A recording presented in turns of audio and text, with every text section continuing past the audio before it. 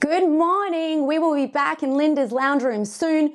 But first, we are heading to Chef Marco's kitchen via Zoom. Chef Marco is from Marco's on Niagara, of course, and he's been involved in an amazing initiative called Stock the Freezer. Now, Galbani Cheese, which is a local company, they donated 5,000 pounds of ricotta to stock the freezer, and I think they had some left over because, uh, well, Chef Marco got cooking with it. Take a look at this. It is time for a virtual cooking lesson. Welcome via Zoom to the kitchen of Chef Marco from Marco's on Niagara. Hey, Chef. Hey, now we're going to be making gnocchi from scratch. So we're going to use two cups of ricotta cheese. We're going to use two and a quarter cups of flour. We're going to add a little bit of salt, Italian baptism water, the olive oil. When you do the egg, I want you to break it into another bowl and actually whip it up first. Why is that? But if you whip it in advance, it's nice and creamy. You don't have to fight the yolk and you don't have to fight the white. And then what you're going to start to do is just going to start to turn the dough into a nice product like this. You want to add a little more flour to it. Put it on the cutting board and I knead the dough just like you would do a regular pizza dough or a bread dough. You want to just use the palm of your hand where you fold over the dough and you kind of incorporate the flour into the dough making it nice and velvety and smooth. I'm going to cut it into strips. And then what these are going to do is we're going to roll these out on a little more flour. And then we're going to square off our, our gnocchi rolls about one by one.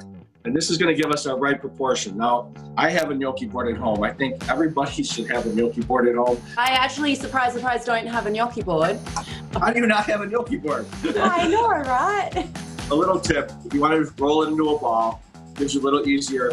You press it into the fork, and then you roll it with your thumb, and that gives you your little pocket and your flavor saver lines on the backside. I prefer the gnocchi board, but we make these three or four times a week at the restaurant.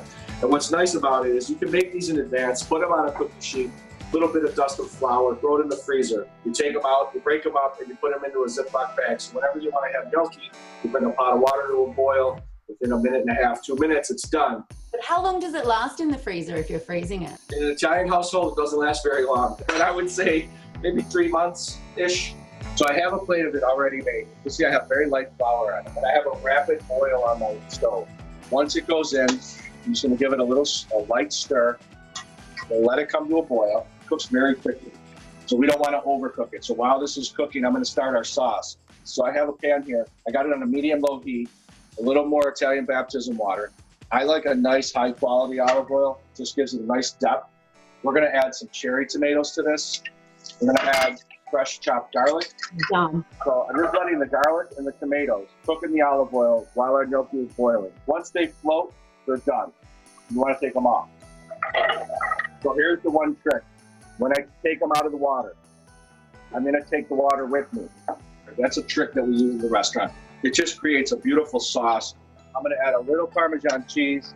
Oh I showed you my little herb garden over here. That's a very cool little thing to have. I have some chiffonade of fresh basil. Toss it around for just a second because you don't want to overcook it.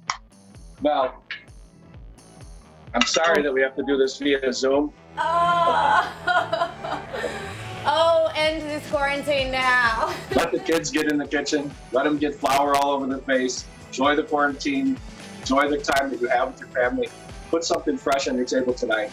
This is so simple. Freeze it, make it, eat it, enjoy it.